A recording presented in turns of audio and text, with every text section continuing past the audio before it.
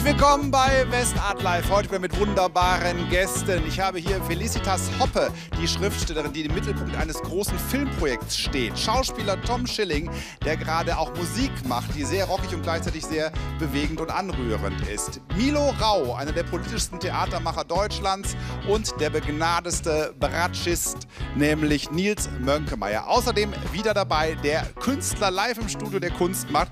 Heute äh, ein Regiekollege, Sebastian Binder, wird einen Film drehen über diese ganze Sendung. In einer Minute musste sie zusammenfassen mit seinem Kameramann Brendan Uffelmann. Und da kann man wieder nur sagen, das gibt's nur hier. Herzlich willkommen. Meine Damen und Herren, äh, das Thema Politik und das Thema Kunst und Politik steht heute im Mittelpunkt der Sendung. Das Verhältnis des Künstlers zur Gesellschaft. Denn das letzte Wochenende war wieder ein sehr politisches. Wir haben gezittert. In Köln hat die AfD quasi die ganze Stadt lahmgelegt. Aber viele Menschen haben protestiert. In Frankreich hat Marine Le Pen wieder ein Prozent dazu gewonnen. Und viele saßen zu Hause, haben ein bisschen gezittert und haben sich gefragt, was ist wieder los zurzeit mit der Welt. Wir leben in unruhigen Zeiten. Bei den Präsidentschaftswahlen in unserem Nachbarland Frankreich fordert die Rechtspopulistin Marine Le Pen mit markigen Worten den Austritt aus der EU und die Verschärfung der Einwanderungsgesetze. Sie will den Islamismus ausrotten und die Todesstrafe ist kein Tabuthema mehr. Mit über 21 Prozent erreicht sie im ersten Wahlgang das beste Ergebnis aller Zeiten für die französischen Rechten. Gleichzeitig protestierten am Wochenende in Köln tausende Menschen gegen eine Partei, die auch mit fremdenfeindlichen Parolen Stimmung macht und damit Ängste schürt. Auf ihrem Parteitag versuchte die Vorsitzende, die Mitglieder auf einen realpolitischen Kurs zu bringen, erlitt jedoch eine schwere Schlappe.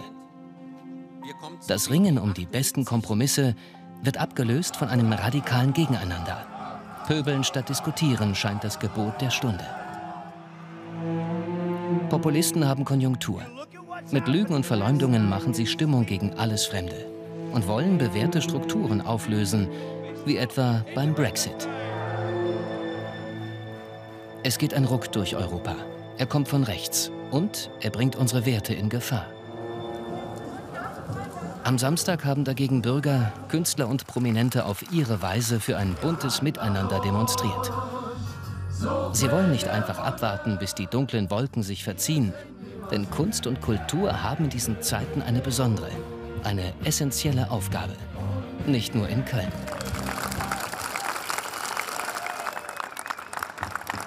Ich fand das wieder klasse. In Köln wurde geschunkelt gegen die AfD. So ist das richtig. Äh, Herr Rau, Sie machen politisches Theater und Sie sind ein politischer Mensch, äh, haben in Frankreich gelebt und studiert. Wie ist denn das Wahlergebnis bei Ihnen privat angekommen? Ja, es ist eigentlich so rausgekommen, wie es äh, angekündigt wurde. Also Macron hat knapp quasi in der Stichwahl gewonnen gegen, gegen, äh, gegen Le Pen. Und jetzt wird sich zeigen, was ist. Ich denke, also es hat ja sogar Fillon, also der wirklich rechtskonservative Kandidat, hat seine Wähler aufgerufen, auch für Macron zu stimmen. Mélenchon, äh, der, der ähm, linke Kandidat, alle anderen Kandidaten werden jetzt wohl mehr oder weniger zu Macron rübergehen. Ich würde denken, das ist ein 60-40-Resultat dann. Also ich sehe das eigentlich jetzt ähm, relativ safe. Persönlich war ich ein bisschen enttäuscht, dass äh, nicht mehr für Mélenchon gestimmt haben, für einen linken Kandidaten, um auch mal eine wirkliche linke Position entgegenzusetzen, dieser, diesem Rechtspopulismus, vielleicht sogar eine Form von Linkspopulismus, also gewisse liberale linke Werte, weil Macron ja dann doch irgendwie so ein bisschen ein liberaler Mitte-Kandidat ist, der sagt, es gibt kein Rechts, es gibt kein Links, wir versuchen einfach mal noch mal fünf Jahre so weiterzumachen, wie wir es jetzt machen. Und da, da wäre es schon gut, es würde mal einen Ruck durch die, durch die Parteienlandschaft das geben. Wort Ruck, das Wort Ruck kann ich ja schon fast ja. nicht mehr hören. Ne? Aber ähm, Sie machen ja oft äh, Stücke in Ihrer Arbeit zu politischen Situationen. Wenn Sie jetzt sowas sehen wie zum Beispiel den AfD-Parteitag, haben Sie dann im Kopf schon, ob das was für eine Arbeit wäre und wie schnell würden Sie oder müssten Sie so eine Arbeit äh, umsetzen?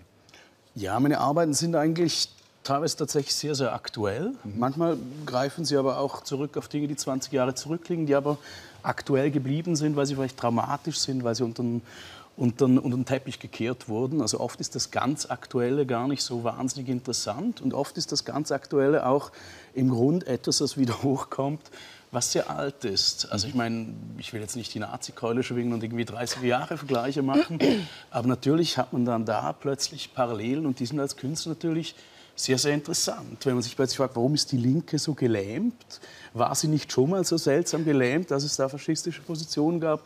Und da werde ich natürlich aufmerksam. Da denke ich mir, wie kann ich das darstellen? Wie kann ich diesen Antagonismus in unserer Gesellschaft auf die Bühne bringen? Was, was, was ist da ein Ansatzpunkt? Und dann sind es oft Figuren. Äh, es gibt jetzt in der AfD keine wirklich charismatische Figur. Mhm. Ähm, es gibt jetzt vielleicht im Untergang von Frauke Petri letztes Wochenende gibt es so ein ganz kleines Königsdrama-Motiv, genau. was eigentlich ganz interessant ist. Die nächsten äh, Vertrauten fallen ihr in den Rücken. Plötzlich steht sie ganz alleine da, ist isoliert. Mhm. Da gab es sehr, sehr, ich sag mal, ästhetisch interessante Bilder. Ähm, man müsste aber tatsächlich lange warten, um zu gucken, wie entwickelt sich das, wie wichtig wird das wirklich. Weil aus Nahdistanz hat man ja oft das Gefühl, die Dinge sind unglaublich interessant, unglaublich wichtig. Und nach einer gewissen Zeit braucht man den Abstand. Braucht man das waren Nebenfiguren, ne? das war nicht ja, Ich glaube, die Kunst muss ja oft ein bisschen den Abstand halten. Also es ist ja jetzt schon so, dass jetzt in den Zeiten, in unruhigen Zeiten, viele fordern, dass die Kunst sich wieder sehr politisieren muss ja. und äußern muss. Äh, ja. Frau Hoppe, für Ihr Werk sehen Sie da einen Druck, auf einmal sich äh, in, Ihrem, in, dem, in der Arbeit politisch zu äußern? Oder sagen Sie auch, ich brauche als Schriftstellerin gerade den Abstand zur Tagespolitik? Also ich glaube, dass Kunst, also nicht nur die Literatur, sondern Kunst allgemein, also wie Sie es ja auch sagen, sie funktioniert eben zeitverschoben. Mhm. Und deshalb ist das Ganze mit dem Ruck und jetzt muss und so weiter, das bekommt was leicht Hysterisches und was Zwanghaftes und plötzlich sieht man sich in der Rolle zu reagieren. Man wird ständig als äh, Schriftsteller sowieso, als Theatermann ja auch, äh, als Musiker vielleicht weniger, aber mhm. immer zu, wie sehen Sie das, ähm, äußern Sie sich sich dazu, geben Sie eine Meinung ab. Das Gewissen der Nation. Das so Gewissen der mhm. Nation. Und dann beginnt man plötzlich selber sozusagen Phrasen gegen die Phrasen zu dreschen. Ja, ja.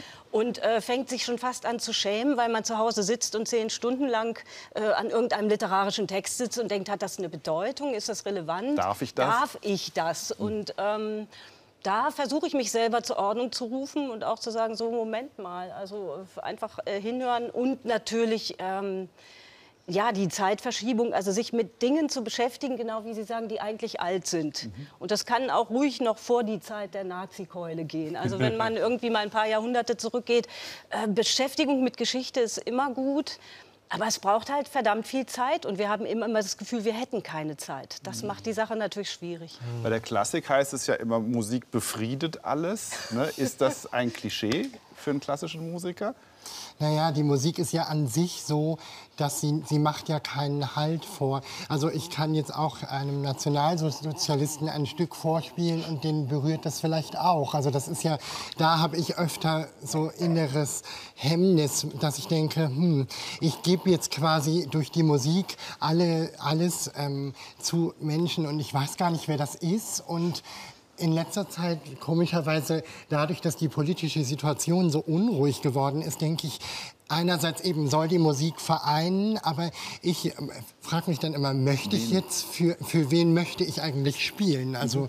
Und in dem Zusammenhang denke ich eben zum Beispiel, ich merke das jetzt auch gerade, wenn ich zuhöre, ich erwarte eben von Menschen, die mit Worten umgehen, dass die das sozusagen vielleicht für mich formulieren, aber das besser können. Mhm. Und bei der Musik ist das ja quasi weg von allem Politischen und das ist ja eigentlich was sehr Menschliches, was ausgedrückt wird und gar nicht so, ähm, also was sehr emotional menschliches, was gar nicht so sehr in die politische Richtung gehen soll auch. Aber man fragt sich dann oft, wer sitzt da unten? Ja, genau. Also manchmal frage ich mich das schon, ja.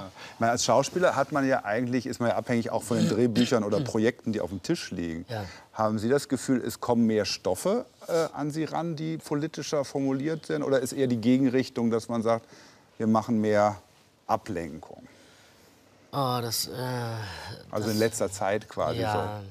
so. Nee, äh, also Filmindustrie ist wahnsinnig lang, langsam. Ne? Mhm. Man muss wissen, irgendwie um Film zu finanzieren und ihn auch zu schreiben, äh, brauchst meistens vier, fünf Jahre mhm. Vorlauf. Genau. Also insofern ist es keine sehr, sehr direkte Kunst. Also mhm. da ist, glaube ich, eher die, Literatur oder die Musik oder Malerei ähm, prädestiniert. Und ich, ich, ich glaube auch gar nicht so, dass es, ähm, dass es immer so ein bisschen so einen Abstand gibt, weil ich glaube, also äh, ich will jetzt nichts Falsches sagen, aber hat nicht äh, äh Michel Ulbeck in äh, Unterwerfung genau diesen Wahlausgang äh, vorausgesagt? Also eigentlich muss man nur dieses Buch lesen und es braucht offensichtlich so prophetische Künstler wie Ulbeck ähm, die uns das zeigen können. Mhm. Und den Sie ja sehr gut kennen, weil Sie ja ihn auch schon in einem Film von ihm gespielt haben. Ähm, nee, ich habe ja stimmt, ja, na, ich habe eine Figur von ja, ihm gespielt, genau. ja, also Michel äh, aus ähm, Elementarteilchen.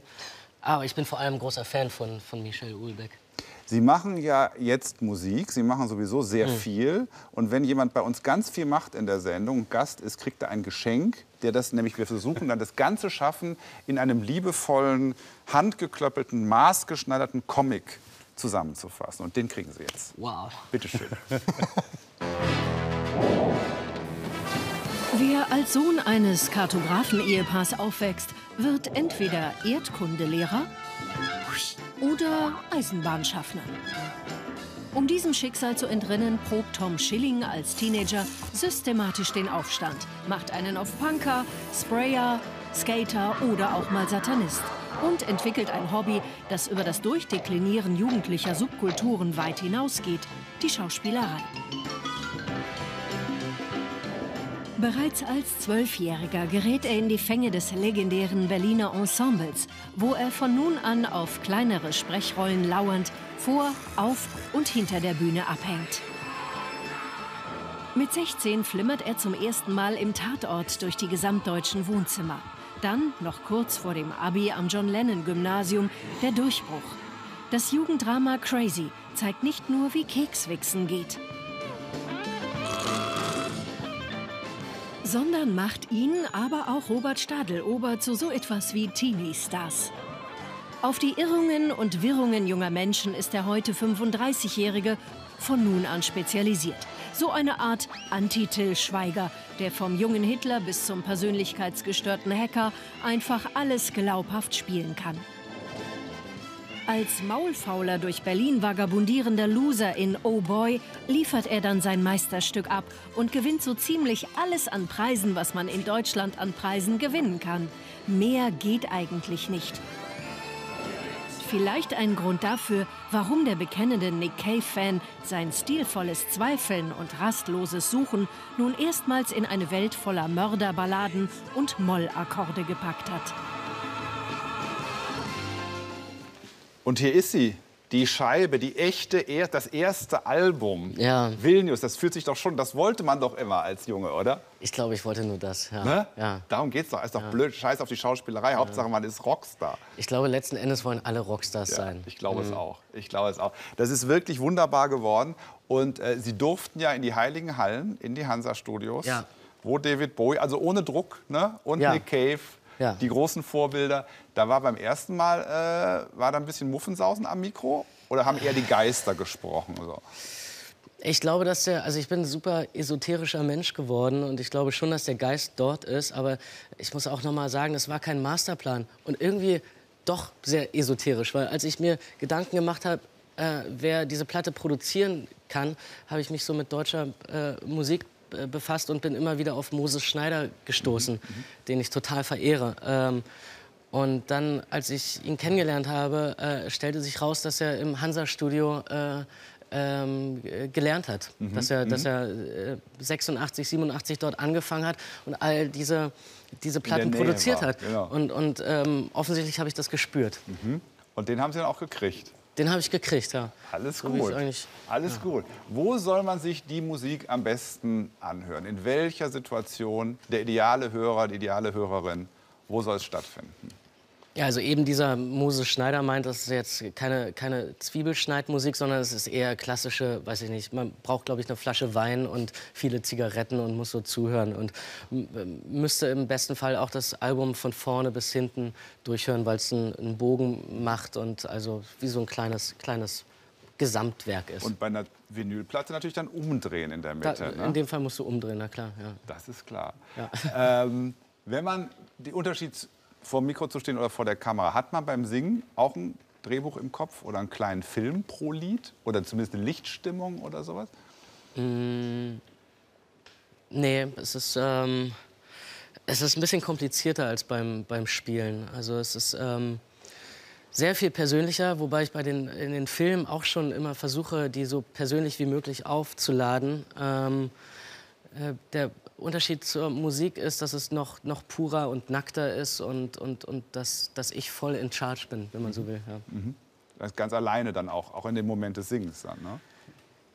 Ähm, Obwohl da die Leute drumherum sind, aber die Beziehung... Also ich meine eher, wie es dann dazu gekommen ist und was wir da auf der, auf der Bühne verhandeln. Das ist das, was, was das, Das war so ist, direkt. das ist mein Drehbuch, ja, Mhm, also das, genau. was, was ich mitgebracht habe. Aber ähm, ja, das auf der, auf der Bühne ist entweder es, entweder es funktioniert und du, du lässt los und dann, dann äh, gehst, du, gehst, du, gehst du da in so, einen, äh, in, in so andere Welten oder, oder es funktioniert halt nicht und dann musst du dich damit abfinden, dass es nicht funktioniert. Und dann müsste man eigentlich abbrechen, Ja, aber, wenn, wenn, wenn, man, wenn man der Kunst irgendwie äh, was Gutes tun möchte. aber beim Konzert geht es ja dann nicht, ne? Ja, ich meine, Leonard Cohen hat auch schon Konzerte abgebrochen. Er hat gesagt irgendwie, ja, nee, ich kann das jetzt nicht so spielen. Wir, ihr klatscht jetzt immer da, weil ihr hört, das ist jetzt Bird on a Wire. So, das, gefällt mir nicht. Also wir hören ja gleich noch was. Ne? Da will ich hoffen, dass nicht abgebrochen wird und wir sehen, uns hier, dass wir uns hier angemessen Ja. verhalten. Ich wollte noch eine Sache fragen. Ein Projekt, was ich gelesen habe, was mich sehr, äh, muss ich sagen, was ganz aus der Reihe von Ihrer ganzen Linie eigentlich liegt. Sie möchten mit Herrn Stahlober mal den berühmten Mai Krüger, Thomas Gottschalk Klassiker Zwei Nasen tanken super Ja. neu verfilmen. Das sind natürlich schauspielerisch sehr große Schuhe, in die Sie da rein müssten. Ja. ne? Es kam neulich schon eine, eine neue Idee von äh, Jan Böhmermann, der sagte, äh, wir sollten ähm, das Leben von, ähm, von Thomas Gottschalk und Thomas Jauch ähm, ähm, verfilmen. Von Günter Jauch und Thomas Günther Gottschalk. Jauch, sorry. Vielleicht als Musical Als Musical. mit ja. Jazz Kids Soundtrack Ja, vielleicht. es, es ist alles möglich. Ist da, alles in, möglich. In, in diese Richtung, ja. Also ich freue mich. Äh, Aber das, was Sie gerade sagen, das Ja. ist jetzt 20 Jahre her. Der, Ja, ja. Der, den Film habe ich vor fast 20 Jahren gedreht. das hat mich aber so, das hat mich so angesprochen, weil ich dachte, das ist dann so zwei Nasen tanken Trauer oder es wird dann so eine schöne Mischung, wenn das als Musical rauskommt. Wir hören gleich was. Ja. Das freut mich. Äh, deshalb schon bitte ich Sie schon zur Vorbereitung Okay. auf den Moment schon äh, zur Band im Grunde in, in die Entspannung. Ja. Und ich gehe mal rüber zu unserem Künstler, der heute die ganze Zeit arbeitet dahinter, äh, zu Herrn Binder und guck mal, wie der Film, der heute gedreht wird, über diese Sendung, äh, wie geht's denn voran? Nee, bleiben Sie ruhig sitzen, bleiben Sie ruhig sitzen. Äh, wie, wie geht's denn, wie geht's denn? Äh, Ja, wir testen jetzt gerade so ein bisschen. Wir haben eben ein paar Sachen aufgenommen und muss, ja, es ist halt so, einen Kurzfilm zu machen in so einer kurzen Zeit. Wir reden über eine Minute, Über ne? eine Minute, ja. Und Sie drehen Das ja auch schon ist, seit der Probenzeit mit. Da haben wir eigentlich? auch schon ein paar Sachen gedreht. Genau. Aber das ist auch für mich ex eine extreme Herausforderung, weil ich natürlich normalerweise sehr, sehr lange an Filmen arbeite Mhm. und das überhaupt nicht gewohnt bin.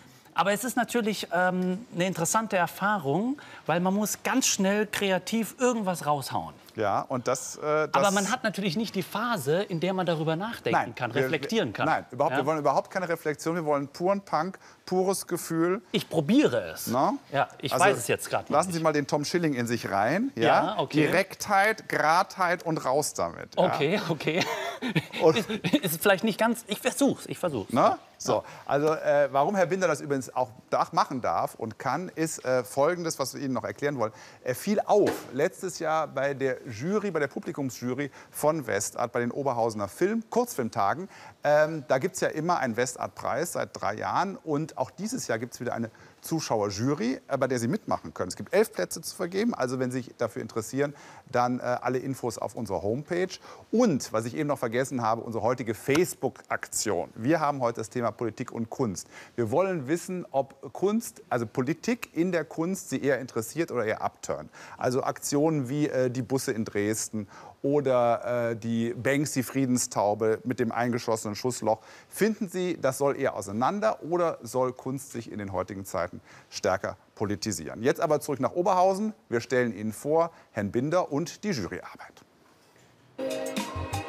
Unsere Westart-Zuschauerjurys der vergangenen Jahre hatten ziemlich viel Spaß bei ihrer Arbeit. Auch in diesem Jahr soll es den Westart-Preis bei den internationalen Kurzfilmtagen Oberhausen wieder geben. Im sogenannten NRW-Wettbewerb werden am Samstag, den 13. Mai, 13 Kurzfilme gezeigt und im Anschluss findet die Jury-Sitzung statt. Wenn Sie also Lust haben auf einen langen Filmeabend und eines der neuen Jurymitglieder zu sein, dann bewerben Sie sich doch unter west-art.de oder auf unserer Facebook-Seite. Schon zum 63. Mal wird sich im Mai in Oberhausen alles um den Kurzfilm drehen. Vor allem für junge Filmemacher ist das renommierte Festival oft ein Karrierestartschuss. George Lucas, Wim Wenders, Werner Herzog, Roman Polanski. Sie alle waren in jungen Jahren in Oberhausen mit dabei.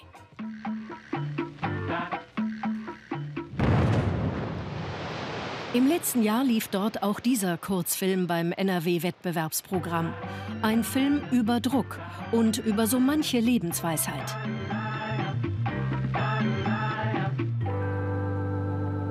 Du musst dich reduzieren auf das, was du brauchst. So, wenn du das nicht packst, dann hast du zu viel. das ist. Mhm. Der Regisseur von Überdruck, unser Studiogast. Am besten stellt er sich mal eben selbst vor. Ich bin der Sebastian Binder, Drehbuchautor und Regisseur und ich beschäftige mich gerne mit Problemen. Und da habe ich zurzeit Folgendes. Ich habe mich jetzt länger mit der Theorie des Drehbuchschreibens beschäftigt. Im Grunde der analytische Teil. Der kritisiert, aber im positiven Sinne. Die Kritik. Und dann gibt es natürlich noch die andere Seite der Medaille, weil die Kritik, die braucht irgendwas zum Kritisieren. Das Kreative, behaupte ich jetzt einfach mal. Und die beiden Seiten, die kämpfen dann oft gegeneinander. Wie können die beiden Seiten jetzt Hand in Hand gehen? Ich könnte die Medaille zum Beispiel so knicken, aber dann würden die sich immer noch nicht angucken. Oder ich könnte das Ganze auch zerschneiden, aber dann müsste ich auch mich zerschneiden. Vielleicht könnte ich das Ganze einrollen und dann würden die beiden sich in so einer Spirale irgendwie begegnen. Das muss ich mal ausprobieren. Kritik und Kreativität in inniger Umarmung, das wäre schön, ne? Auf jeden Fall. Also Kritiker sind ja heute nicht da für diesen Ein-Minuten-Film. Ja. Also nur wir, Ja. die ja drin Ja. vorkommen. Die Darsteller, die dürfen ja auch was sagen dann. Genau. irgendwie. Welcher Arbeitsschritt ist jetzt gerade, wo sind Sie jetzt? Sind Sie jetzt äh, beim Schneiden oder noch beim Drehen? Wir sind jetzt beim Schneiden. Wir haben jetzt die ganzen Daten von der Kamera hier gerade ins Schnittprogramm gezogen und versuchen jetzt gerade da etwas auszuwählen und zu gucken, ob das funktioniert, was wir Drehen- uns überlegt haben. Drehen Sie lieber oder schneiden Sie lieber? Ob ich lieber drehe oder schneide. Das Tolle am Filmemachen ist, es gibt einfach ganz viele unterschiedliche Arbeitsschritte.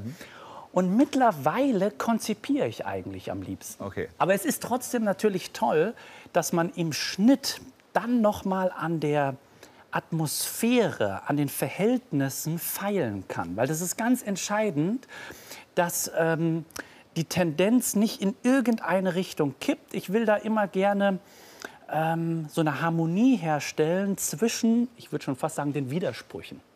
Ja, also mich interessieren als Filmemacher besonders Widersprüche und diese Diskrepanz dazwischen, das, was etwas in Spannung versetzt. Und das halt so herauszukristallisieren, das kann man tatsächlich sehr, sehr gut im Schnitt dann auch machen. Aber es braucht natürlich einen gewissen Vorlauf und muss vorbereitet werden.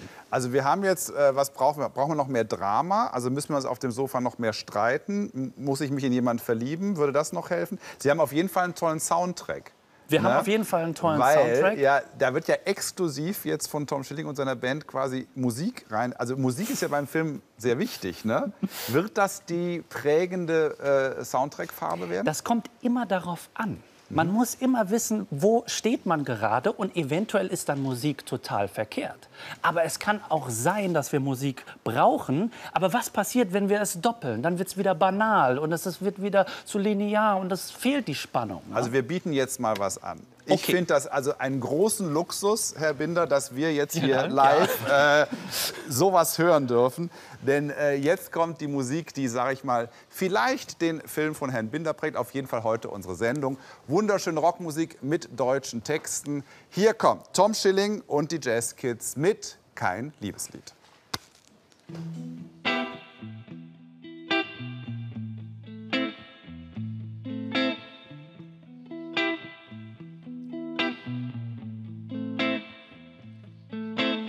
Trink endlich aus und dann mach, dass du gehst.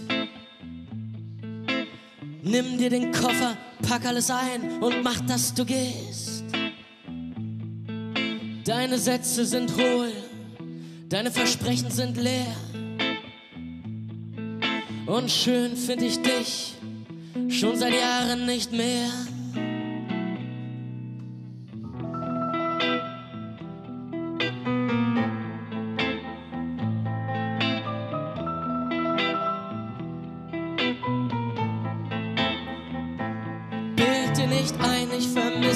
Wenn die Tür hinter dir schließt.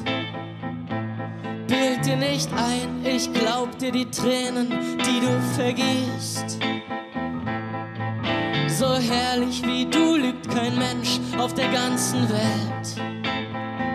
Zu dir fällt mir nichts mehr ein, nur ein Lied, ich hoffe es gefällt.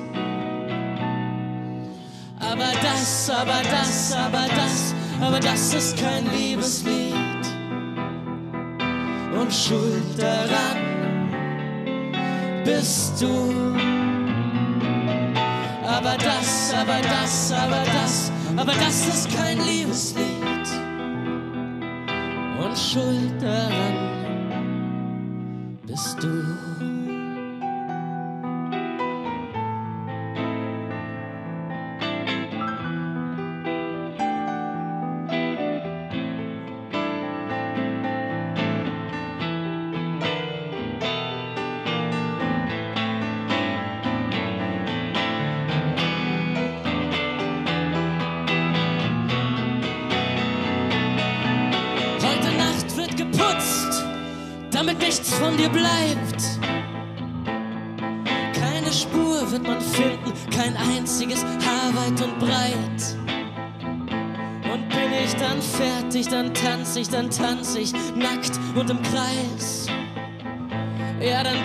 ich los und ich gröle mein Lied, damit jeder weiß.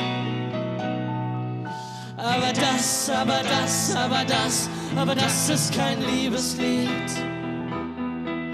Und schuld daran bist du.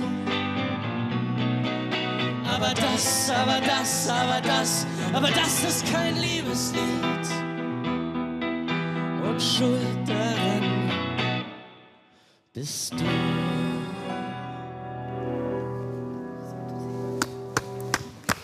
Tom Schilling und die Jazzkids, Dankeschön.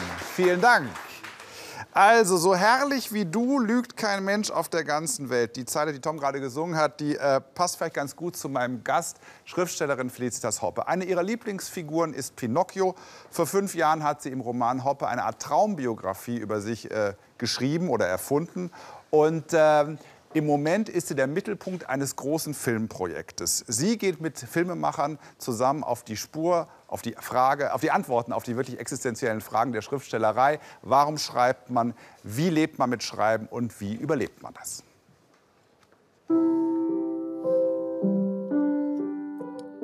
Wer schreiben möchte, wer ein Buch machen möchte, der muss sich zurückziehen, ob das in Berlin ist oder in einer Einsiedelei oder in einem Hotelzimmer. Er ist mit sich allein und mit seinem Papier oder mit seinem Bildschirm. Das heißt, es ist eine durch und durch einsame Tätigkeit. Im Schweizer Wallis findet Felicitas Hoppe die Einsamkeit, die sie zum Schreiben braucht. Ein Filmteam hat sie an ihrem Rückzugsort besucht und Einblicke in ihre Gedankenwelt bekommen. Eine Herausforderung für alle Beteiligten.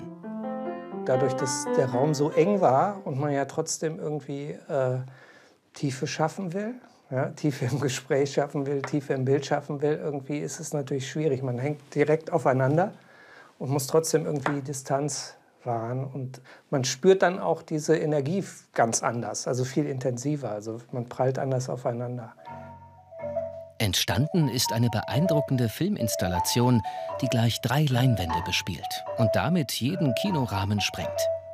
Die Antworten aus Gesprächen mit der Schriftstellerin werden zu einem Monolog, ergänzt durch Impressionen, die ihren eigenen Rhythmus entwickeln, nur unterbrochen durch kurze Zitate.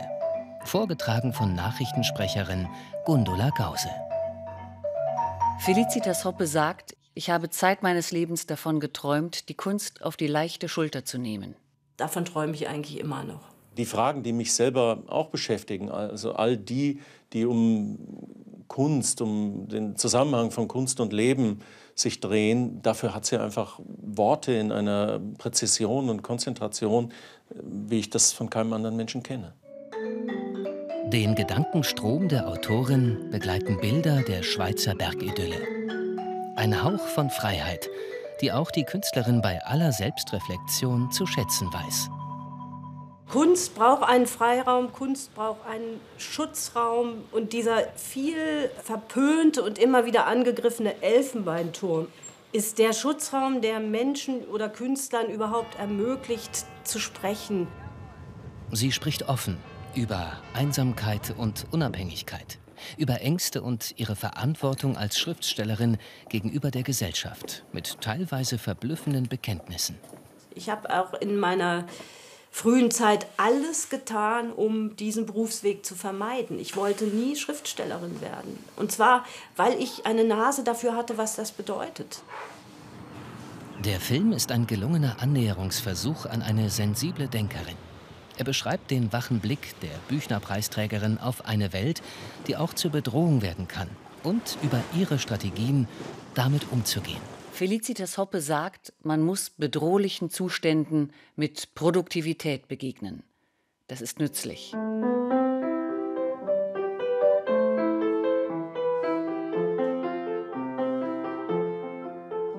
Jawohl, das muss man. Das wäre mein T-Shirt. Und man muss Klavier spielen. Da haben Sie viel und lang geredet. War das anstrengend eigentlich oder waren die Fragen so gut, dass das einfach sehr organisch kam? Ja, mein Problem ist, dass äh, mich Reden überhaupt nicht anstrengt. Okay. Und ich glaube, das Problem war eher für die Filmemacher, ähm, das aufzunehmen, das zu verarbeiten. Ich meine, ich weiß gar nicht, wie viele äh, Stunden Gespräch das waren. Ich bin, hm, würde ich mal, also da müsste ich die fragen, aber mhm. ich denke mal, das sind dann schon so 20 äh, Textstunden und wenn man die dann zusammenschneiden muss auf ähm, 80 Minuten oder zusammenschneiden darf, 80 ist ja schon ein irrsinnig großes Format eigentlich für so einen Film.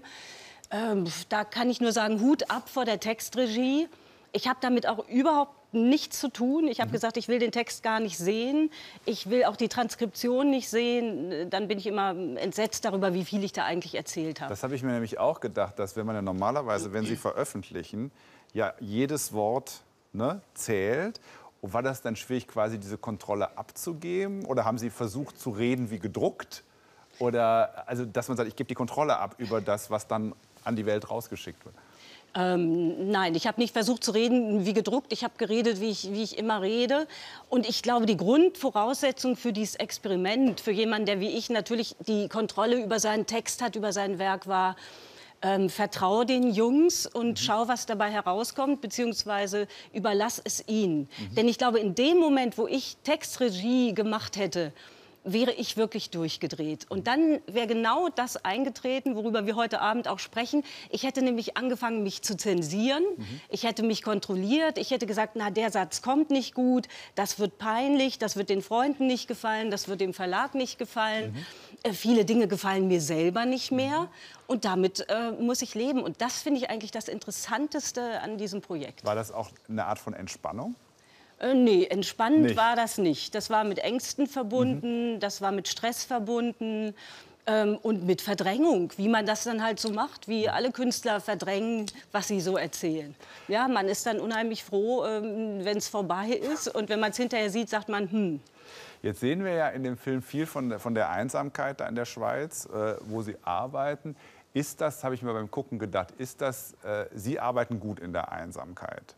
Ist das ein Klischee über Kunst? Brauchen Sie das? Oder glauben Sie, dass das für jeden Künstler eigentlich eine gute Situation ist, diese Ruhe? Also ich glaube, dass über das Schreiben, über die Kunst äh, insgesamt so unendlich viele Klischees mhm. äh, existieren, unheimlich viele Mythen. Wobei man betonen muss, die Künstler bedienen das selbst. Das ist ja Teil unseres Geschäfts, dass wir lauter Dinge erzählen und uns stilisieren, sonst würde der Laden ja gar nicht laufen. Mhm, mh. Das ist auch ähm, Teil der Mythologie. Das ne? ist, das muss sein, das ist eben Teil der ganzen Angelegenheit. Aber Faktum ist doch, wenn ich einen ähm, guten, gehaltvollen, qualitätvollen Text erstellen will, dann muss ich das alleine machen. Mhm. Wobei ich weiß, es gibt Künstler, Schriftsteller, auch ein Klassiker, die gehen ins Café, die schreiben mhm. draußen, würde ich nie machen. Mhm. Aber wenn es wirklich dann ans Eingemachte geht, ans Überarbeiten, also in die Endredaktion, das könnte ich jetzt nicht in einem Wiener Kaffeehaus machen. Nee, also, das glaube ich. Also für mich äh, funktioniert das so. Spaß macht das nicht, aber ähm, das muss ist sein. der Weg. Es muss sein, ja. Wir dürfen jetzt ein endredaktionelles Werk hören, also ein Teil äh, aus Ihrem Roman Hoppe, den Sie uns freundlicherweise lesen. Ich soll noch mal sagen, ich bin froh, dass Sie Schriftstellerin geworden sind und nicht äh, das, wie es im Film vorkommt, vermieden haben und freuen uns jetzt über eine kleine Kostprobe. Ja, ja? ich lese den Anfang aus diesem Buch, ähm, zu dem der Film eigentlich das Komplementärwerk ist. Ähm, das Buch heißt Hoppe und es beginnt so.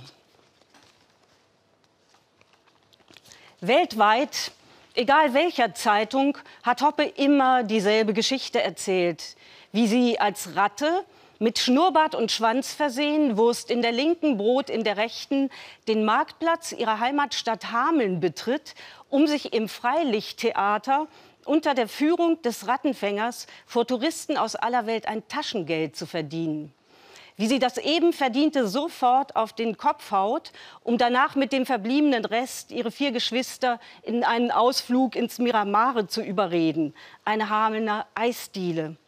Bis Hoppe sich 30 Jahre später endlich erhebt, um ein Schiff von Hamburg nach Hamburg zu besteigen und die Welt mit eigenen Augen zu sehen. Ein Ausflug, nichts weiter. In ein paar Tagen bin ich zurück, sitze wieder am Tisch, der zweite Esser von rechts. So wenig beglaubigt ist, dass Hoppe jene viel zitierte Reise um die Welt auf einem Containerfrachtschiff tatsächlich persönlich unternahm, ist bekannt, dass sie bereits als Kind mehrfach die Weltmeere befuhr. Allerdings nicht als zweiter Esser von rechts, sondern als einzige Tochter eines Patentagenten. Die Hamelner Kindheit ist reine Erfindung. Im Film sagen Sie ja auch, Ihr Traum ist die Kunst auf die leichte auf die leichtere Schulter zu nehmen. Ich glaube, heute Abend, jetzt darf ich Sie in die Lounge zurückführen, zu einem Getränk. Ich hoffe, dass wir zur Leichtigkeit heute ein bisschen beitragen dürfen, ja. trotz Talkshow-Situation. Und freue mich und bedanke mich für die schöne Lesung. Ich habe gerade aber zum Thema Einsamkeit, habe ich mir noch mal gedacht, dass der einsame Solist vorm Orchester, wenn ich Konzertfilme gucke und, oder auch im Konzert sitze und dann kommt der raus, dass der Druck, der ist doch wirklich einsam, oder? Obwohl Nein. da hinten da viele, die, die spielen ja alle gleich mit. Aber wenn man jetzt einen Fehler macht oder ja, okay, das stimmt. Also Fehler sind nicht so schön, aber sie sind auch nicht das Ende der Welt. Und am Ende habe ich ja die Musik, die mich trägt. Also ich vermittle ja einen Inhalt und das hilft dann doch. Also wenn ich mich nur selber produzieren möchte, also zum Beispiel mich stressen so Virtuosennummern, so Paganini, wo es nur darum geht, meine Finger sind hier besonders schnell. Mhm. Dann, und wenn, man, wenn das dann nicht klappt, dann ist wirklich gar nichts da. Also das macht Weil mich das total nur nervös. fast Angeberei Genau, ist, genau. Aber in dem Moment, wo ich sozusagen mich in den Dienst des Inhaltes stelle, dann also bin ich trotzdem manchmal noch nervös, aber ich kann damit besser umgehen. Und sind nicht einsam. Nee, habe ich, nee, finde ich nicht. Gut, ich spiele ich ja immer für die Leute. Genau, die Leute sitzen da, das Orchester ist ja auch ja. dabei. Frau Hoppe arbeitet in Einsamkeit. Ihr habt alle Teams. Filmteams sind da, die Bands ja. sind da. Ist auch nicht einsam, würde ich denken. Ich habe auch noch mal über das äh, nachgedacht, was Sie, was Sie gesagt haben, Frau Hoppe.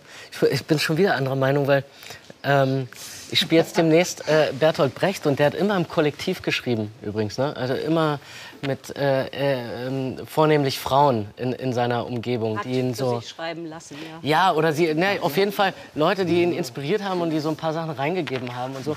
Also es, es, es ist nicht wirklich ähm, äh, ganz ausschließlich so, dass man immer die Einsamkeit braucht ne, als Schriftsteller, um ich rede ja vom Prozess des Schreibens und nicht ja. von dem, was davor passiert. Äh, also, nee, auch geschrieben. Also die Drei-Groschen-Oper äh, hat er mit äh, Elisabeth Hauptmann zusammengeschrieben. Ne? Also diese, diese haben sich dann die Bälle zugeworfen und so. Aber es ist ja bei aber jedem es ist ungewöhnlich Nee, aber es, ist, nee, es, nee, es gibt ja auch die ja. Writing Rooms. Also es, ist ja unter, es gibt ja wirklich, das ist ja unterschiedlich. Also Ihr Prozess kommt mir eben so vor, ganz gerade. Bei Rau habe ich mir gedacht, der Regisseur. Also entweder sagen Sie, ich würde auch mal so ein geiles, einsames Soloprojekt gerne machen, ohne die ganzen blöden Schauspieler. Oder man ist doch sowieso als Regisseur immer der einsame Wolf, der Oberboss, der allen sagt und komm, biet mir was an und was spielst du denn ja. da oder so. Ich, ich, ich habe mir das auch so, ich habe äh, Felicitas liest das vor, er performt, er wird gleich spielen, was macht eigentlich der Regisseur? Sie können jetzt Kritik machen, Sie können sagen, wir können ein bisschen mehr so sitzen oder das Ganze von innen ein bisschen mehr füllen. Aber ich denke auch, also ich sehe das ein bisschen wie, wie Tom. Also ich, ich schreibe auch immer im Dialog, wir schreiben auf den Proben, wir schreiben nach den Proben, dann probieren wir das auf den Proben wieder aus, ob es funktioniert. Ich denke, das ist eine ganz andere Form natürlich im Theater oder auch teilweise im Film, als man das im wenn man ein Buch schreibt, macht. Ich glaube, dass er das. Ich wollte fragen, Ja. braucht man denn nicht diesen, diese absolute Fokussierung, um sozusagen das Ganze so zu kristallisieren, dass das wirklich dann das wiedergibt, was man will? Weil ich meine, das ist das, ist das nicht, das wäre sozusagen der Prozess, der vor dem Arbeiten mit den Schauspielern passiert, oder nicht? Ja, bei mir zerfließt es. Es gibt schon jemanden, ich mache meistens Vorproben und da improvisieren wir wild, sprechen, machen was auch immer, alles Mögliche fließt ein. Dann ziehe ich mich zurück, nicht mit Frauen, sondern mit, oft mit Männern, mit Dramaturgen und wir schreiben einen Text. Und mit dem kommen wir dann in, die, in, in den Hauptprobenblock und den setzen wir dann ein Stück weit um. Ich würde es mal so zusammenfassen. Ich glaube, Einsamkeit ist für jeden, der hier auf dem Sofa sitzt, ein unterschiedlicher äh, Prozess oder ein unterschiedlicher Wert innerhalb der Arbeit. Lustigerweise bei den sogenannten normalen Menschen da draußen, die werden den Zustand auf jeden Fall alle sehr gerne sehr schnell los. Und dazu gibt es jetzt einen Filmtipp von uns, der heißt nämlich auch Einsamkeit und Sex und Mitleid. Ein Film, der diese Woche ins Kino kommt nach dem Roman von Helmut Krausner. Großartiger Film. Äh, Und das ist unser Filmtipp. Bitte schön. Dieser Film ist der Hammer. Er zertrümmert unsere Vorstellungen davon, was im deutschen Kino möglich ist. Wir staunen, sind sogar regelrecht irritiert. Ich komme aus Bielefeld, meine Eltern sind Studienräte und ich wollte dich einfach nur ficken, okay? Die Grenzen, an die wir uns annähern wollen, die haben wir wirklich gemeinsam erforscht. Ich liebe dich. Ich liebe dich vom ganzen Herzen. Und Jesus liebt dich auch. Ja, denn Jesus geht mir im Arsch vorbei. Oder will der einen Dreier machen? Der Film wagt sich weit hinaus. Ins politisch Unkorrekte. Provokation pur. Entschuldigung, junger Mann, kommen Sie mal bitte. Nein, ich will gar nichts Böses von Ihnen. Stellen Sie sich bitte einmal kurz hierher für meine Freundin. Ein potenzieller hirntoter IS-Kanake, der dich nur als ein Loch mit was drumherum anzieht. Sag ihm, dass du keine Angst mehr vor ihm hast. Hast du an mich gemeint? Zeig mir, dass du mich nicht mehr brauchst. Wir leben in einem freien Land, wenn es dir noch nicht aufgefallen ist, Meister. Da kann jeder seine Meinung sagen, außer er hat Angst. Wegen einer Fotze fühlst du dich wie ein Mann oder was? Hä? Was? Was? Entschuldigung, Entschuldigung. Äh, hallo?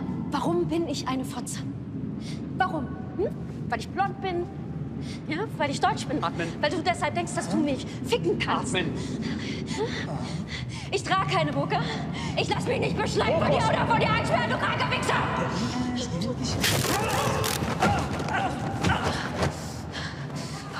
Lass unsere Frauen in Ruhe! Die Frage, darf man das? Meint ihr das ernst?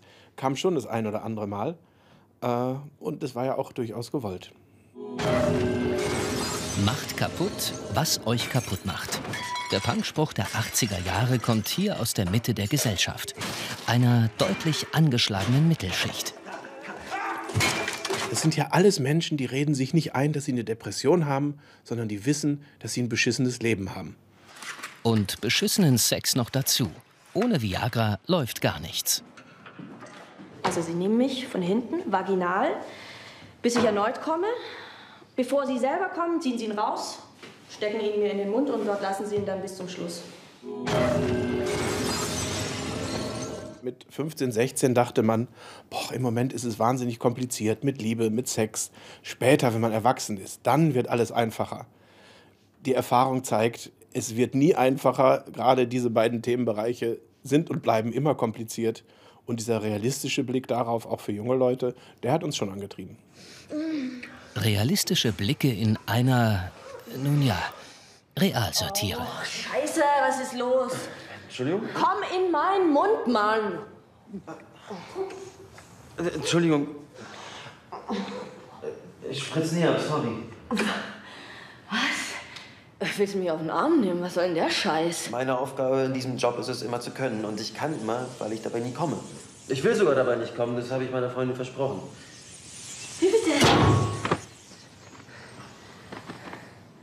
So, in der Moderation muss man auch manchmal einen harten Schnitt machen, meine Damen und Herren, denn ich möchte Ihnen jetzt unseren Gast Nils Mönkemeyer näher vorstellen. Er ist nicht nur einer der besten Bratschisten, die wir haben, spielt mit den besten Orchestern der Welt, sondern er ist auch Professor für Bratsche und er leitet in Bonn das Elysium, äh, das Elysium Festival, das jetzt Anfang Mai stattfindet. Und das stellen wir Ihnen jetzt mal exakt vor.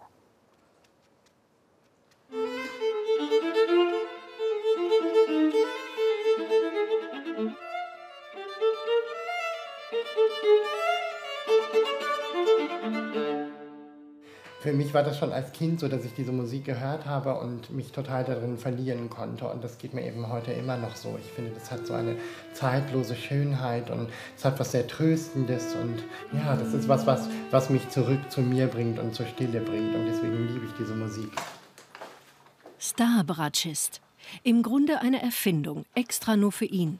Denn die Bratsche ist eigentlich nicht als Soloinstrument vorgesehen.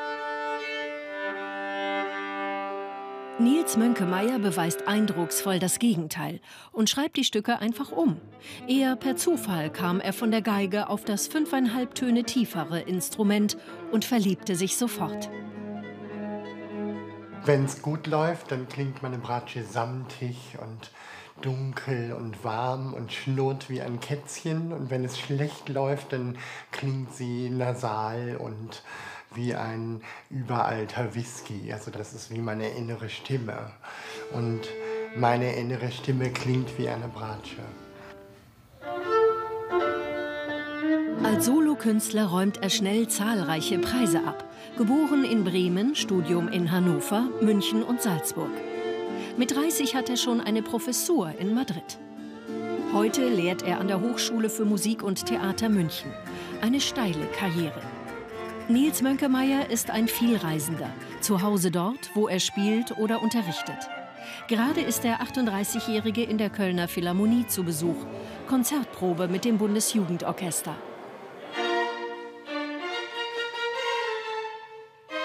Herzblut und Leidenschaft, das macht ihn so sympathisch. Nils Mönkemeyer ist jemand, der sich engagiert, der etwas erreichen will, auch über die Musik hinaus. Konkret zum Beispiel für Wohnungslose. Aber wie soll das gehen? Helfen mit klassischer Musik? Hier kommt jetzt Beethoven ins Spiel. Als die Beethoven Academy Bonn ihn zum Leiter des neuen Elysium Festivals auswählt, hat Nils die Idee. Eine Benefizveranstaltung mit Konzerten in Obdachlosenheimen. Partner ist die Bonner Caritas. Um Werbung für das Projekt zu machen, hat er in einer Einrichtung für Wohnungslose gespielt. Es war ganz süß, dann haben sich alle ganz schick gemacht für das Konzert und ähm, ich habe eigentlich beim Konzert gar nicht gemerkt, wer jetzt da wohnt und wer nicht. Mit der Schönheit der Musik Grenzen überwinden, der Anspruch von Nils Mönkemeyer. Und so kann man durch den Benefizgedanken auch wieder Politik machen. So kann es nämlich auch gehen. Wir brechen jetzt eine Lanze für die Bratsche. Wir lehnen uns jetzt mal aus dem Fenster. Was kann die viel besser als die Geige? Ah, also wo wir schon über das Thema Einsamkeit sprachen, Melancholie, Klagen und Singen und ähm, eben das Gefühl wie ein brennender Kamin und so ein wohlig warmer, umhüllender Klang, das kann die Bratsche. Vielleicht fehlt es ja auch einfach an den Kompositionen, oder? Sie müssen ja quasi gucken, dass entweder neue Stücke komponiert werden für Solo-Bratsche oder andere müssen quasi transponiert werden. Genau, richtig? also das mache ich so. Ich arbeite mit Komponisten von heute zusammen, Mhm. was auch sehr spannend ist, Mhm. weil man dabei sein kann, man kann fragen, wie das sein soll. Mhm. Und, ähm, und ich bearbeite Dinge für mich. Und dann ist es auch noch so, das Repertoire ist nicht so klein, wie man denkt. Also es gibt auch sehr schöne Stücke, die für die Bratsche schon geschrieben wurden. Und man kann auch ein paar Ausgrabungen machen wahrscheinlich. Genau, ne? genau. Was ist das Besondere am Elysium Festival und warum heißt es so? Also Elysium, das ähm, beschreibt rosenbepflanzte paradiesische Wiesen, die die Götter den Menschen geschenkt haben, um sich zu erholen und um Frieden zu finden. Und für mich ist das eigentlich die perfekte Beschreibung dessen, was die Musik kann. Also ich das ist eben das Tolle, finde ich, dass die Musik etwas macht mit mir, was alle Grenzen der Sprache und der Hintergründe und Herge, ähm, Herkünfte und so weiter einfach komplett überspringt und direkt den Weg ins Herz oder ins Innere findet. Und ähm, daher kam auch meine Idee, ein Festival zu gründen und zu sagen, das, was wir da machen mit, den, mit meinen Musikerkollegen, das ist wirklich dann für alle da. Brauchen wir das heutzutage besonders? Einen elysischen Moment? Ich glaube schon. Also ich merke, dass, dass so die letzten zwei Jahre, wo ich das Gefühl habe, die Grundfesten wackeln doch erheblich, merke ich, dass ich selber ähm, eine Zeit lang hatte ich so das Gefühl, ach, was mache ich denn jetzt? Ich kann irgendwie gar nichts tun, weil ich als einzelner Mensch keinen Einfluss habe. Und dann habe ich gedacht, ja, aber die Musik ist, hat in gewisser Weise für jede Person einen heilenden Moment. Und ich glaube, dass ähm, mir geht es besonders mit, mit der Musik von Johann Sebastian Bach so. Ich glaube, dass diese Musik, die spricht das Beste in uns an und, und nährt das. Und das ist das, was wir tun müssen. Oder das ist auch das, was ich glaube, was meine Aufgabe als Musiker ist, dass ich den Menschen sozusagen einen Moment von Frieden und Glück gebe. Und vielleicht, wenn ich sehr viel, äh, wenn ich sehr gut spiele, vielleicht kann dann eine Person in dem Moment eine bessere Entscheidung treffen oder ähm, fühlt sich erinnert an das Gute in sich selbst. Sie haben ja auch gesagt, Sie, Ihre Pflicht ist es auch, das Publikum abzuholen. Mhm. Äh, wann merken Sie im Konzert, in welchem Zustand das Publikum sich befindet oder wer da ist, ob jung oder alt? Wann, wann kriegen Sie das auf der Bühne mit? Das merkt man eigentlich sehr schnell. Das fällt mir immer besonders aus, ähm, auf, wenn ich in einem anderen Land spiele, weil dann irgendwie es kommt da so eine bestimmte Art von Energie und dann gibt es ja einen Austausch. Also ähm, was, glaube ich, daran liegt, dass man mit der Musik etwas ganz Persönliches teilt. Also das ist ein bisschen für mich wie auch mit, mit Lyrik zum Beispiel. Also wenn ich ein Gedicht lese, dann entsteht ja bei mir ein Bild. Und dieses Bild ist bei jeder Person was anderes, aber und so ist das bei der Musik auch. Aber wir erleben das ja zum Beispiel im Konzert wirklich gemeinsam. Und dadurch habe ich das Gefühl, dass das Publikum und die Künstler und alle sind so ein Stück zusammengerückt auf die beste Art und Weise. Das geht mir auch so im Konzert. Äh, jüngeres Publikum ist Ihnen auch wichtig, dass Sie ein jüngeres Publikum Mhm. auch ins Konzertsaal ziehen, auch mit Hilfe wie Internet und solchen Medien. Wie wichtig ist das heutzutage? Ja, ich glaube ehrlich gesagt, da ist gar, kein- geht gar kein Weg mehr dran vorbei. Das Mhm. ist einfach unsere heutige Zeit, die funktioniert so und das finde ich auch gut so. Also ich bin sehr froh über die Möglichkeiten, weil ich ja, ähm, ich kann sehr gezielt meine Meinung verbreiten oder mein, zum Beispiel ich kann was einspielen, ein Video machen und dann auf Facebook weiß ich, kann ich das genau den Menschen zeigen, die das auch interessiert. Ich liebe das. Also ich finde das Wird ganz toll. Teilen im besten Sinne. Mhm, genau. So. Wir dürfen jetzt was hören, ein Stück. Und Bach ist es auch. Ja. Was ist es genau? Das ist eine Sarabande aus der ersten Suite in G-Dur. Dann darf ich zur Bühne Ja. geleiten. Und äh, das ist ja das Schöne an dieser Sendung, dass das wirklich alles live ist. Hier wird nichts getrickst. Hier ist ein Kunstgenuss wirklich direkt von uns für Sie. Bitte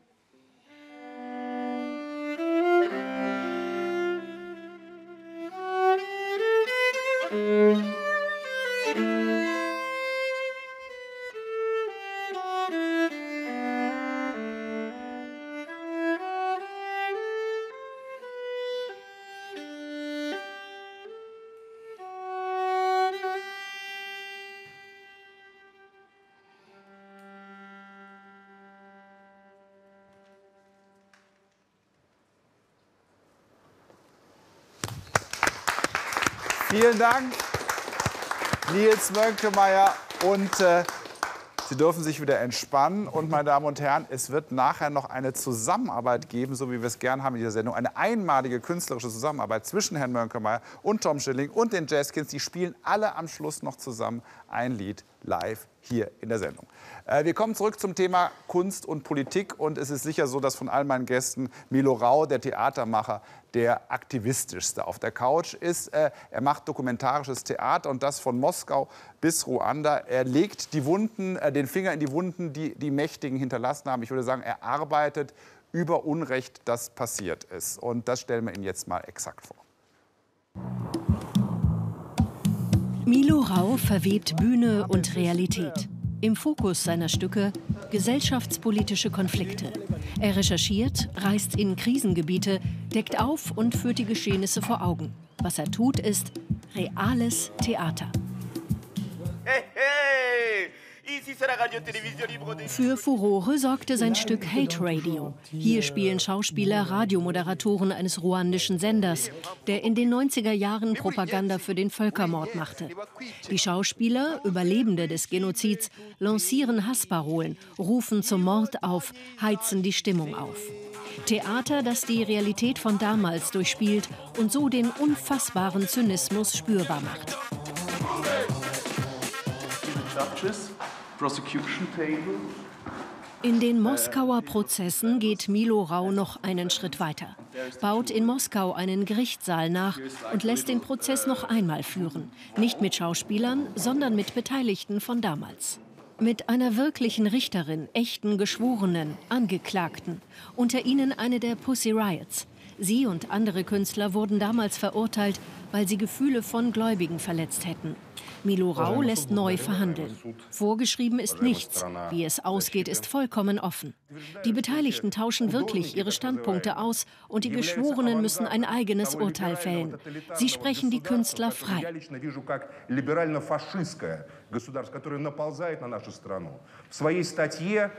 Буквально в тот же день, когда была акция этих... Der Schweizer bildet Realität ab und schafft eine neue Realität. So wie auch beim Kongo-Tribunal, seinem bislang größten Projekt. Theater- und Dokumentarfilm, der im Herbst in die Kinos kommt. Darin zeigt Milo Rau die Verbrechen in dem Bürgerkrieg, der längst zu einem internationalen Wirtschaftskrieg um Kobalt und Gold geworden ist. Deckt auf, dass Regierung und Minenbesitzer, aber auch NGOs, UNO und Weltbank darin verstrickt sind. Mit beteiligten und realen Personen lässt er auch diese Verbrechen in einem Prozess verhandeln. Einmal im Kongo, einmal in Berlin.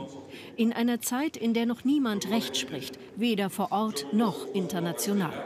Das auf der Bühne gefällte Urteil symbolisch. Und ein Appell, die internationalen Verbrechen nicht ungestraft zu lassen. Früher war Milo Rau Aktivist. Heute ist er aktivistischer Künstler.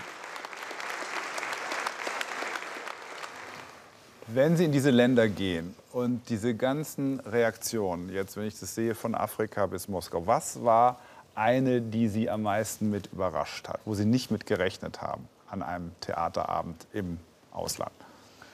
Oh, da gab es viele Dinge. Also beispielsweise in Moskauer Prozessen gab es den Moment, wo äh, die Kosaken äh, diesen Prozess gestürmt haben. Wirklich reingekommen sind? Oder? Ja, die Kosaken, das ist, da muss man sich vorstellen, das ist so eine Art äh, Hobbypolizei, die da eigentlich mehr oder weniger akzeptiert wird von der putin Die heißen auch die Kosaken. Also das, das sind die Kosaken. Okay. Die stammen nicht wirklich von den Kosaken ab, also die sind Reitertruppen, aber die sind so eine Art herumvagabundierende Polizei, die gucken, dass es keine Ausstellungen von Schwulen gibt, dass es äh, keine Dinge gibt, die die Kirche kritisieren. Dann kamen die rein, um uns alle zu verprügeln. Und für mich war das ein schöner Moment. Die sahen dann da, da saßen orthodoxe Priester. Da saß irgendwie der Anführer äh, von ihnen, der im Fernsehen spricht. Und die merkten plötzlich, hatte die alle eingeladen. Mhm. Dann haben sie sich gesetzt, haben zugehört. Natürlich haben sie sich gelangweilt. Mhm. Meine Stücke sind ja oft sehr langweilig. Und nach einer Stunde sind sie wieder gegangen.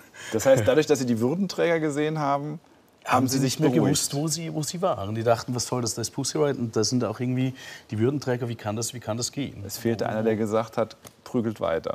Genau. Der war nicht da. Genau. Funktioniert das wie eine Art Konfrontationstherapie? Also indem Sie diese Sachen nacharbeiten, konfrontieren Sie die, na, nicht mit den Opfern, ja auch die Täter und die gesellschaftlichen Formen, die das äh, hervorgebracht haben. Ja, beziehungsweise werden Antagonismen erst sichtbar. Mhm. Also wenn du nach äh, beispielsweise in Ostkongo gehst, dann wird dir die UNO sagen, da gibt es keinen Krieg, das ist Postkonflikt. Da Mhm. gibt es keinen Krieg. Ich stolperte da überall in Vertreibungen, in, in Massaker rein. Mhm. Und dann wollte ich gewissermaßen durch dieses Tribunal zeigen, dass es diesen Wirtschaftskrieg gibt. Mhm. Also wer sorgt eigentlich dafür, dass es sechs Millionen Tote gibt in 20 Jahren?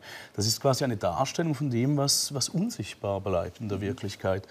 Ähm, in anderen Momenten geht es mir darum, einfach Widersprüche wirklich äh, noch mal klarer zu machen. Mich hat, als ich nach Moskau ging, interessiert, da ich ja immer den Spiegel las und da ist Pussy Riot immer im Recht, Mhm. sind ja auch Freunde von mir, da habe ich mich gefragt, was sagt eigentlich die Gegenseite? Ich will mal ganz genau wissen, was eigentlich die Gründe sind, dass diese Leute ins Lager müssen, die Künstler. Und das hat mich tatsächlich interessiert. Also mich interessiert auch diese, wie soll ich sagen, diese rechtsradikale, faschistische, orthodoxe Meinung, die will ich einfach, ich will mit ihr ranlassen und hören. Genau. Wann haben Sie das Gefühl, dass Sie was erreicht haben oder das Gefühl ist, dass Sie zufrieden sind nach so einem Projekt? Währenddessen oder mit Abstand oder nie oder Ja, währenddessen ist es ein, ein Flow. Also es dauert ja oft monatelang, wo man, wo man durcharbeitet. Man kommt da selten in einen Abstand rein, wo man so sagt, so abends ein Bierchen, jetzt bin ich zufrieden. Da ist man einfach monatelang drin. So, und steht vielleicht auch unter Panik oder Angst, dass es nicht, nicht funktioniert. Das ist ja oft ein sehr, sehr schmaler Grat. Bei dem Kongo-Tribunal war ich sehr glücklich, als das dann tatsächlich funktioniert hat. Weil man hat gesagt, ihr werdet es nie schaffen, dass die Regierung da hinkommt, dass sie die anklagt. Und das war ein Beispielsprozess mit richtigen Richtern aus Den Haag, die wir eingeladen haben. Und das ist das, der Beweis, dass es geht. So. Wie erholen Sie sich denn? Also ich fange noch mal anders an. Die neuen Themen. Gehen Sie morgens durch die Tageszeitung und sagen, ich muss bald in die Türkei? Oder äh, wie kommen die Themen zu Ihnen? Das sind meistens äh, autobiografische Dinge. Also wir haben kurz diesen, äh, dieses Projekt gesehen über diesen Radiosender in Ruanda. Das war 94, da war ich 17. Ich bin 77er Jahrgang und die haben da MC Solar und all diese Sachen gehört, die ich auch gehört habe. MC Hammer, äh, Real to Real und Ja. so weiter. Und das war für mich faszinierend, als ich gemerkt habe, dass ich diese Schauspieler getroffen habe, die auch Überlebende des Genozids sind. Wir haben die gleiche Musik gehört. Die einen Ja. im Genozid, die anderen in der Schweiz im Gymnasium. Und das war für mich dann der Anknüpfungspunkt. Der Anknüpfungspunkt. Wir haben alle Nirvana gehört. Was, Ja. was, was sind wir für eine Generation? Und das sind oft solche Punkte, es sind oft Zufälle auch. Mhm. Wie gesagt, ich reise durch den Kongo, stolpere in ein Massaker rein und frage mich, warum wurden hier 30 Kinder ermordet? Was ist, was ist der Grund? Was ist wirklich der Grund? Ich will es wissen. Ich ertrage es sonst nicht. Das ist eher eine Autotherapie fast schon. Und Entspannung wäre aber nicht jetzt zu sagen, ich mache mal so einen schönen Shakespeare oder mal so einen Ibsen zwischendurch oder Ja, ab und zu bin ich schon so ein bisschen, äh, lasse ich mich fast schon zur Oper entführen. Okay. Aber ich, ich, ich, äh, ich biege Kurz dann immer noch. vom Wagner noch kurz Ich biege immer kurz vor Lohengrin, wiege ich dann wieder zum nächsten Massaker ab. Also, aber klar, also ich, ich denke schon, dass, dass ich habe auch einige Projekte gemacht, das sind sehr, sehr stille Projekte, es ist Erzähltheater, Mhm. ich habe auch viele Klassiker adaptiert. Das hier war jetzt natürlich eine, eine sehr aktivistische Auswahl, die wir gesehen haben. Also ich glaube schon, dass das auch zusammengehört. Also was da vorher gesagt wurde über die Einsamkeit der Kunst, diese, diese Direktheit, die nicht thematisch ist, die man in der Musik hat, das gibt es im Theater auch.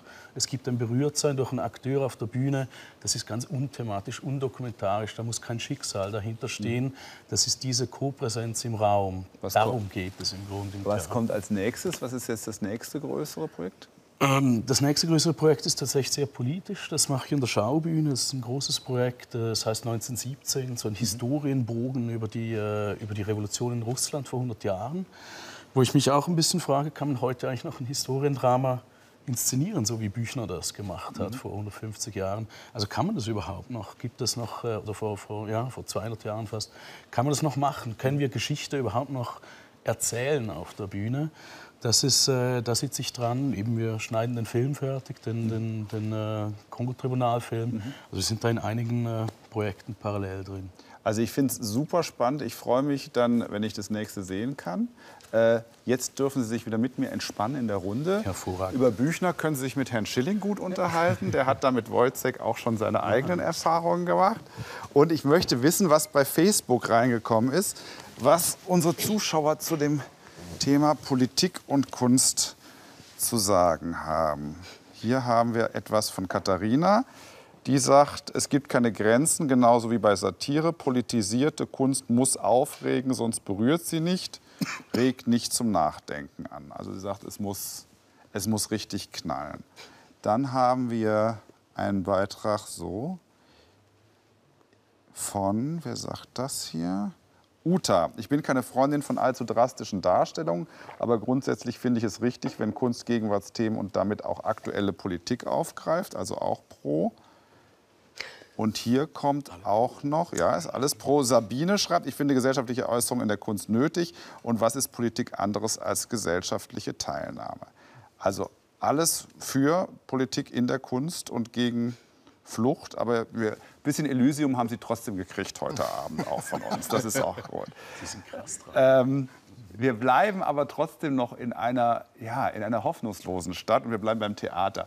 Unser Theaterkritiker Herr Keim war in Essen und dort gibt es eine hoffnungslose Stadt voller Zombies. Es gibt eine Inszenierung vom Trashmeister Jörg Buttgereit, der in Essen das schöne Stück, jetzt muss ich den Titel richtig sagen, Die lebenden Toten oder Monsters of Reality besucht hat. Und wir gucken jetzt mal, ob er das überlebt hat.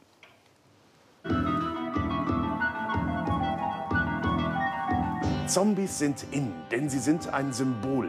Sie stehen für einen außer Kontrolle geratenen Kapitalismus. Hirntote ohne Gefühl, nur noch von der Gier nach Fressen angetrieben.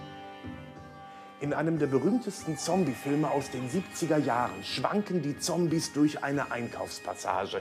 Hier im Magazin des Essener Schauspiels lagern auch die Kulissen einer Shopping Mall, denn dort in so einem Tempel des Konsums spielt die Inszenierung der lebenden Toten. Europa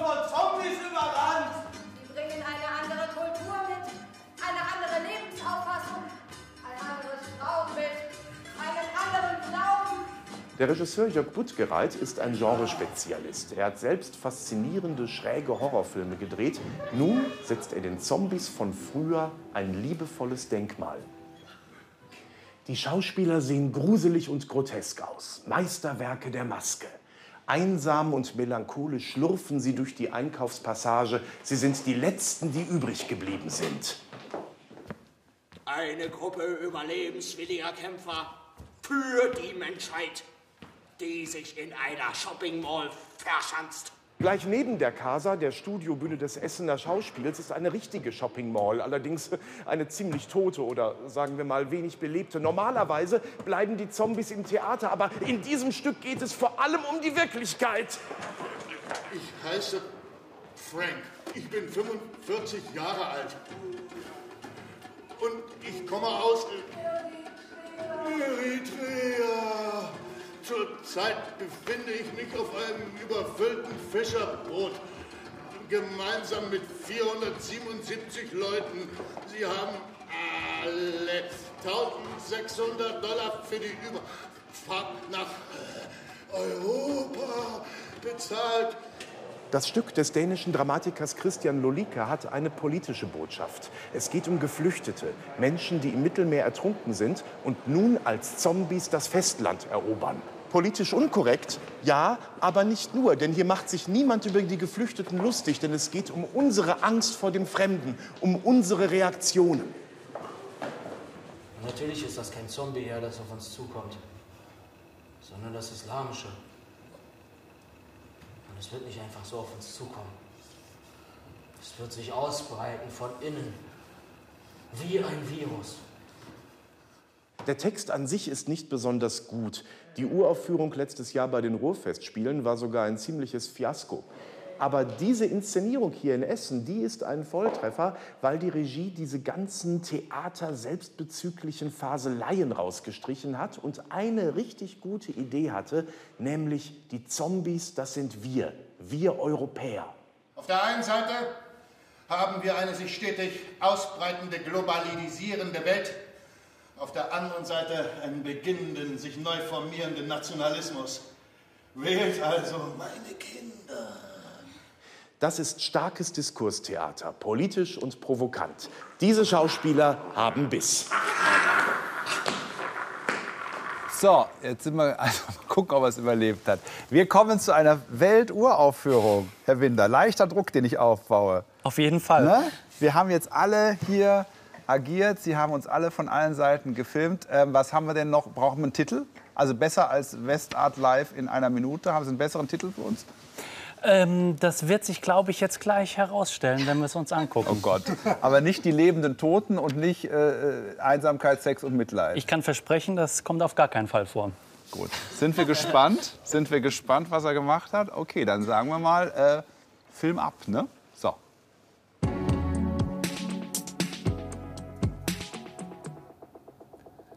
Liebe Zuschauer, wenn Sie das jetzt hier sehen, dann habe ich es leider nicht geschafft, in der Sendung Westart einen Kurzfilm fertigzustellen. Dann gab es einfach zu viele Schwierigkeiten und Probleme. Vielleicht bin ich auch einfach nicht der Richtige, um solche Filme zu machen. Schade. Wobei auf der anderen Seite habe ich natürlich jetzt extrem viel dazugelernt. Ich weiß, welche Schwierigkeiten auf mich warten und ich kann auf die Probleme beim nächsten Mal reagieren, weil so gesehen bin ich vielleicht jetzt sogar prädestiniert dafür, solche Kurzfilme zu machen. Ich müsste da mal drüber nachdenken.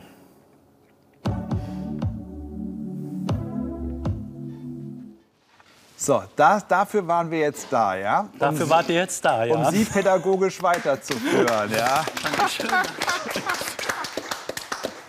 Und das wurde gedreht wann genau? Das wurde gestern gedreht, weil ähm, ich habe natürlich im Vorfeld die Sendung schon mal besucht gehabt und hatte verschiedenste Konzepte entwickelt. Was könnte ich hier machen? Und ich habe mich halt für ein Konzept entschieden, was leider in die Hose gegangen ist.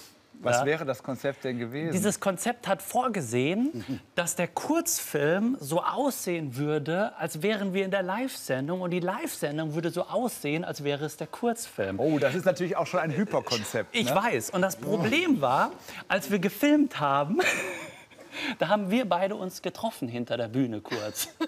Und dabei ist der ganze Gag verloren gegangen, weil ich hätte sie nicht dort hinten sehen können, weil sie ja gerade hier in der Live-Sendung sitzt. Also das Ganze hat leider nicht funktioniert und deshalb habe ich mich dagegen entschieden, das jetzt zu zeigen, was wir da gefilmt hatten. Das heißt, das war jetzt also aber quasi der Plan B, der jetzt Das war jetzt ist. der Plan Wenn Sie B. nicht Frau Hoppe hinter der Bühne getroffen hätten, Eventuell hätte ich es dann geschafft gehabt. ich habe gerade solche Flashbacks zu Pranks aus meiner jüngsten Vergangenheit, wo ich den Gosling nicht erkannt habe. Aber es ist eine andere Ah ja, Geschichte, okay. meine Damen und Herren. Ich sitze immer in so Sachen, wo auf einmal was anderes passiert. Aber es ist trotzdem, der Plan B war trotzdem sehr schön. Dankeschön. Wir bedanken uns. Sie kriegen jetzt auch was zu trinken. Ähm, Sekt oder? Ach, ich trinke ja gar keinen Alkohol. Also gut, dann stoßen wir jetzt noch mal an. Vielen Dank, Herr Binder. Dankeschön. Schon mal vielen Dank, bevor wir natürlich noch ein großes Musikwerk hören. Ich darf ähm, genau Herrn Mönkemann und Herrn Schilling schon zur Bühne bitten für das, was wir wirklich lieben bei der Sendung, wenn Leute etwas zusammen machen, was sie sonst nie tun. Ich bitte schon mal äh, auf Position. Ähm, Ich würde da auch gerne mitmachen. wollen Sie auch sonst ein Tambourin? Habt ihr noch für Frau Hoppe ein Tambourin oder irgendwas? Ja, aber mit Bauchtanz. Ich liebe ja Musik und Sollen wir durchs Bild tanzen, vielleicht mal mittendrin, ohne Grund? Das könnten wir machen, wir heute beiden. nur einer Sehnsucht Ausdruck gegeben haben. Du kannst Okay. Also nur eine Sehnsucht. Also wir können auch sehnsuchtsvoll hinter der Band stehen, mal zwischendurch. Ja, machen wir das. Das machen wir gleich. Ja. Herr Rau, Sie inszenieren uns? Ja, ja. natürlich. Gut, also dann sind wir, sind wir bereit und Herr Binder filmt es wieder nicht, würde Ja, ich sagen. Ne? so machen wir's. So machen wir es. Dann haben wir es doch alle geklärt. Ja, weil, ja, dann freuen wir uns jetzt wirklich auf eine Welturaufführung mit allen Beteiligten, außer Sebastian Binder. Äh, es ist ein Lied von der neuen Platte von Tom Schilling von Vilnius. Es ist Kalt ist der Abendhauch, featuring Nils Mönkemeyer und die Jazzkids und Felicitas Hoppe und Thomas Hermanns und inszeniert von Milo Rau und ohne Herrn Binder. Viel Spaß.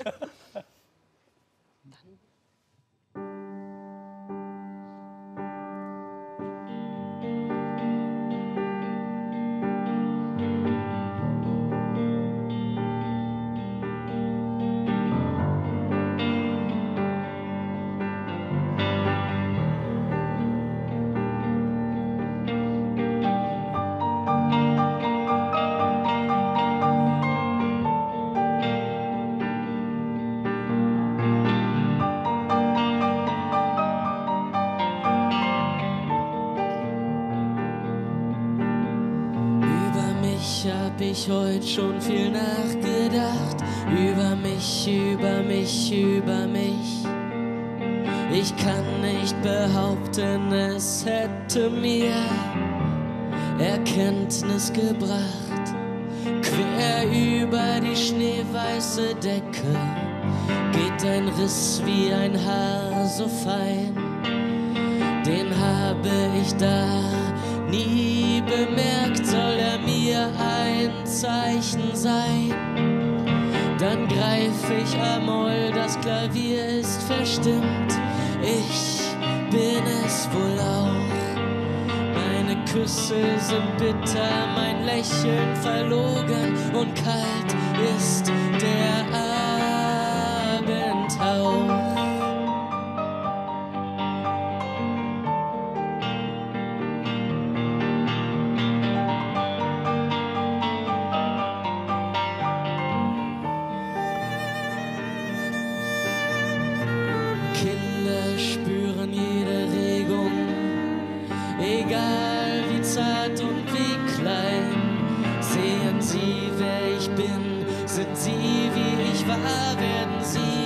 Mal so wie ich sein. So denk ich im Stillen und draußen der Winter ist grausam, ich bin es auch. Mein Kopf ist vergiftet, die Lippen sind blau und kalt ist der Abendhauch.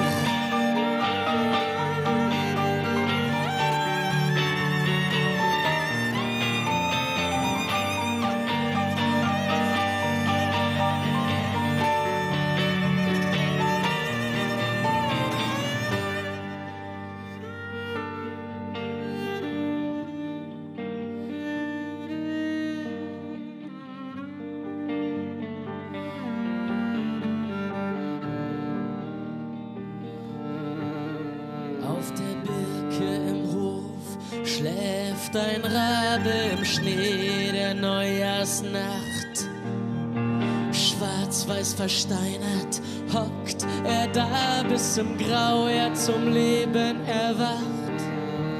Im Frühling, da lerne ich mit dir den Walzer, im Sommer wirst du meine Frau. Im Herbst dann fallen bekanntlich die Blätter und kalt ist der Abendhauch.